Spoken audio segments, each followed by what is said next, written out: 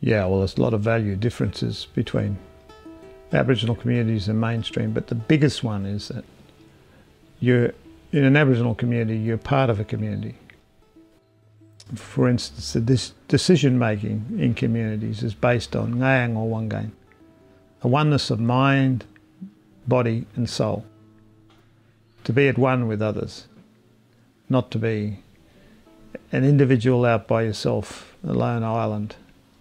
And I think that's one of the major differences in Western society where we teach our kids to, you know, be ready to go off by themselves and conquer the world by themselves.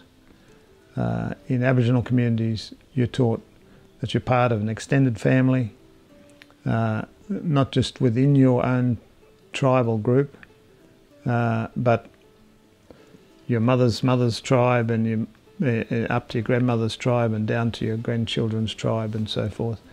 And and the cross relationship between all those different groups. Uh, everybody has has a role to play in terms of uh, in the kinship system. You're an uncle to somebody, you're a father to somebody, and it's much the same as in Western society. You you are those different relationships to somebody, but Western society talks about in, in the way where I could. Uh, I was just hearing it on ABC this morning. They're talking talking about how you know, I could get married and divorced and married and divorced, you know. What the hell? you know?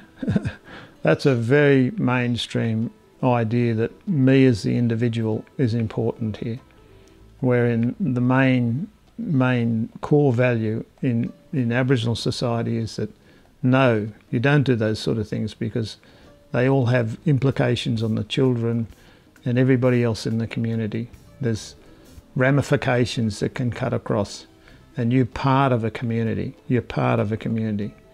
You're an important member of that community because you have a lot of people looking after you. But that means you have a lot of other people to look after at the same time. It's a two way street. I think that's the major difference.